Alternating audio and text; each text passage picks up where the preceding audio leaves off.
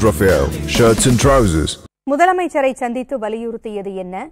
நாடாளுமன்ற தேர்தலில் பாமக நிலைப்பாடு என்ன என்பது குறித்து அக்கட்சியின் தலைவர் அன்புமணி ராமதாசோடு செய்தியாளர் ரமேஷ் நடத்திய கலந்துரையாடலை நயம்பட சொல் பகுதியில் பார்க்கலாம்.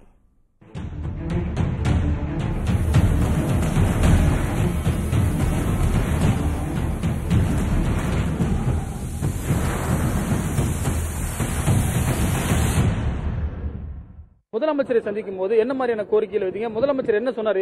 ஏன்னா வந்து அவங்களும் சொல்லியிருக்காங்க. ஜாதிவாரி எதிர்க்கட்சியா இருக்கும் போது ஜாதிவாரி கணக்கெடுப்பு நடத்துன்ற கோரிக்கை வச்சிருக்காங்க. அவங்க எந்த நிலைமையில் இருக்காங்க சார் இப்ப?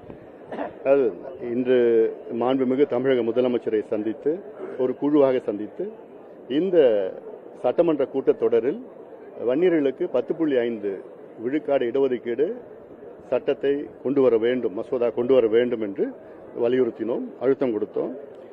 இது இல்லாமல் தொடர்ந்து எங்களுடைய மருத்துவர் ஐயா அவர்கள் ஐந்து கடிதங்கள் அனுப்பியிருக்கின்றார்கள். பல முறை பேசியிருக்கின்றார்கள். எங்கள் சட்டமன்ற உறுப்பினர்லாம் பேசியிருக்கிறாங்க. நான் பல முறை அவரிடம் பேசியிருக்கிறோம். கடந்த ஆட்சி காலத்தில் அதிமுக ஆட்சி காலத்தில் சட்டம் கொண்டு வந்தார்கள். அது திமுக ஆட்சிக்கு வந்தவுடன் அதை ஆதரித்தார்கள். திமுக அரசும் அதை அந்த சட்டத்தை ஆதரித்தது. அதன் பிறகு உ- உயர்நீதிமன்றத்தில் அதை ரத்து செய்தார்கள். உச்சநீதிமன்றத்தில் வந்து தெளிவாக தீர்ப்பு கொடுத்தாங்க. தமிழ்நாட்டில் வன்னியர்களுக்கு உள்ஒதுக்கீடு கொடுக்க எந்த தடையும் கிடையாது. தரவுகள் வைத்து நியாயப்படுத்தி கொடுங்கள்னு சொன்னாங்க. கொடுக்கலான்னு சொல்லிட்டாங்க உச்சநீதிமன்றம் அதன் பிறகு வந்து க- இந்த பிற்படுத்தப்பட்ட ஆணையத்தை வந்து அதை ரீகான்ஸ்டியூட் பண்ணாங்க. பண்ணி ஒரு வருஷம் ஆயிடுச்சு. பிறகு அதுக்கு டேர்ம்ஸ் ஆஃப் ரெஃபரன்ஸ் கொடுத்து ஒன்பது மாதம் ஆகுது.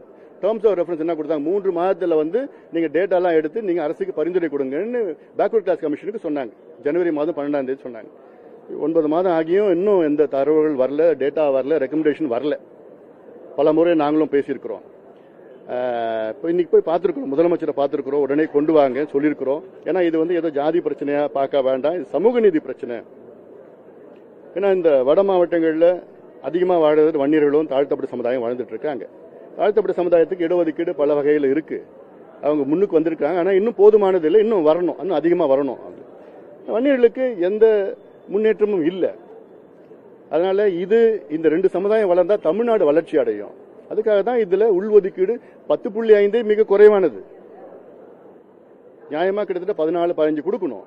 ஆனால் அது போராட்டம் பண்ணது நாங்க தான் உயிர் இழந்தது நாங்க தான் ஜெயிலுக்கு போனது நாங்க தான் அடிப்பட்டது நாங்க தான் எல்லாமே நாங்க தான் அது அடிப்படையில் அடிப்படையில நாங்க தான் எல்லாமே அதுக்கு காரணம்.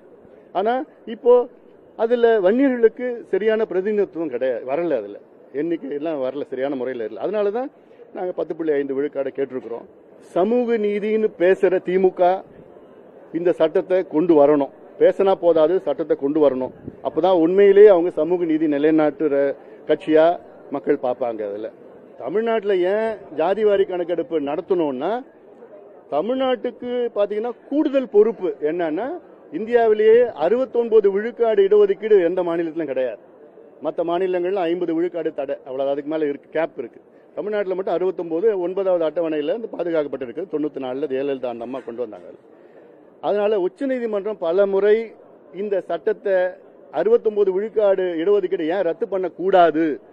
பல முறை கேள்வி கேட்டிருக்கிறாங்க. அதற்காக அதற்காக கூட இது கொண்டு வந்திருக்கணும். இந்நேரம் கொண்டு வந்திருக்கணும்.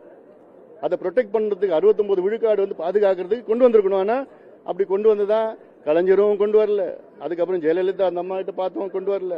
எடப்பாடி அவர்கிட்டயும் பேசணும் அவரும் கொண்டு வரல எடப்பாடியார் கொண்டு வரல. இப்போ இவரும் அது ஒரு ஏதோ பேசிட்டு இருக்கிறாங்க பண்ணுவாங்களான்னு தெரியல. நிதிஷ் நிதிஷ்குமார் பீகார்ல கொண்டு வந்தா ஏன் தமிழ்நாட்டில் கொண்டு வரக்கூடாது? பீகார்ல பதிமூணு கோடி மக்கள் தொகை நாற்பத்தஞ்சு நாள்ல கொண்டு வந்தாங்க. ஐநூறு கோடி தான் செலவாச்சு. தமிழ்நாட்டில் ஏழே முக்கால் கோடி மக்கள் தொகை தான் இருக்கு. அதை விட நாற்பத்தஞ்சு நாள் இல்லை முப்பது நாள்ல இருபது நாள்ல கொண்டு கொண்டு வரலாம். கணக்கெடுக்கலாம். கணக்கெடுத்து இந்த அறுபத்தொன்பது பாதுகாத்து கொடுக்கலாம். இது இல்லாமல் இன்னும் கூடுதலா இடஒதுக்கீடு இன்னும் கூடுதலாக வரணும். அழுத்தம் கொடுத்து எல்லா மாநிலத்திலும் எடுத்தாங்கன்னா தான் மத்திய அரசு அழுத்தம் கொடுக்கலாம். உச்சநீதிமன்றத்தை அழுத்தம் கொடுக்கலாம். அதனால எதுக்கு பிசிக்கு மட்டும் இருபத்தி ஏழு பர்சன்ட் கேப் கொடுத்துருக்குறாங்க பிசின்னு பார்த்தீங்கன்னா கிட்டத்தட்ட பீகாரில் ஒன்று அறுபத்தொம்போ அறுபத்தி மூணு விழுக்காடு இருக்குது தமிழ்நாட்டில் கிட்டத்தட்ட எழுபது விழுக்காடு இருக்கும். அதெல்லாம் க- கணக்கெடுத்து தான் தெரியும். அதில் இன்னொன்று கணக்கெடுக்கிறது வந்து எண்ணிக்கை மட்டும் கணக்கெடுக்கிறது இல்லை. இதில் வந்து என்னென்ன பின்தங்கிய நிலையில் இருக்கிறாங்க? சமூக பின்தங்கிய நிலை சோஷியல் பேக்வர்ட்னஸ் கல்வியில் என்ன நிலையில் இருக்கிறாங்க? வேலை வாய்ப்பில் என்ன நிலையில் இருக்காங்க? சுகாதாரத்தில் என்ன நிலையில் இருக்கிறாங்க? பொருளாதாரத்தில் என்ன நிலையில் இருக்கிறாங்க? இதெல்லாம் எடுத்தால் தான் தெரியும். ஏன்னா சில சமுதாயங்கள் வந்து எல்லா இடத்தையும் அவங்க தட்டிட்டு போயிடுறாங்க. சிலது எதுவுமே கிடைக்காம இருக்கு. அந்த நிலை தான் வன்னியர்களுக்கு இருக்கு. எம்பிசியில சில சமுதாயம் எல்லாம் எடுத்துட்டு போயிடுறாங்க. அதனால அதுதான் கணக்கெடுப்பு நடத்தினால அது தெரிஞ்சிடும் இல்ல அது நிலையில. ஆனாலும் இந்த ஜாதிவாரி கணக்கெடுப்பும் இந்த பத்து புள்ளி ஐந்து சம்மந்தம் இடஒதுக்கீடு வந்து அதுக்கு சம்பந்தம் கிடையாது. ஏன்னா உச்சநீதிமன்றம் தெளிவா சொல்லி டேட்டா ஆஃப் சோஷியல் பேக்வர்ட்னஸ் எடுத்தா போதும்னு சொல்லியிருக்காங்க தேர்தல் இன்னும் நாடாளுமன்ற தேர்தல் ஒரு சில மாதங்கள் இருக்கு. உங்களுடைய தேர்தல் நிலைப்பாடு என்ன சார்? ஏற்கனவே நீங்க நாடாளுமன்ற தேர்தலில் கூட இந்த முறை நடைபெற நிற்பதற்கான வாய்ப்பு இருக்கா? ஏன்னா ராஜ்யசபாவில் இருந்தாலும் கூட கண்டெஸ்ட் பண்றதுக்கான வாய்ப்பு இருக்கா விரைவில் அறிவிப்போம்.